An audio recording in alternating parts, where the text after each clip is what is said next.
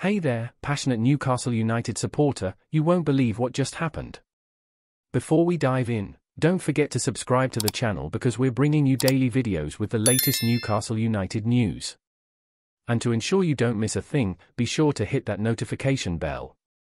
So, Newcastle played to a 0-0 draw with last season's semi-finalists at San Siro last Wednesday.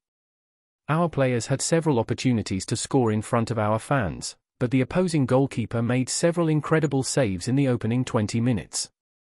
Furthermore, after maintaining a clean sheet against Brentford in the Premier League last Saturday, our coach Howe had some high praise for our goalkeeper after the final whistle in Italy.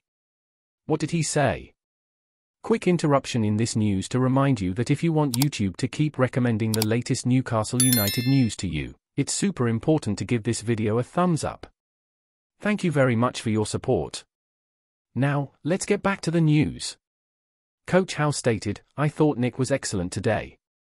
He was already in great form against Brentford, even though he didn't have much to do in that match, and today, he showcased his best performance once again. Now, we want to hear your opinion, Newcastle United fans. What do you think about all of this? Share your thoughts in the comments. Remember, your voice is crucial for Newcastle United. We'll be back with more exciting updates from our team at any moment.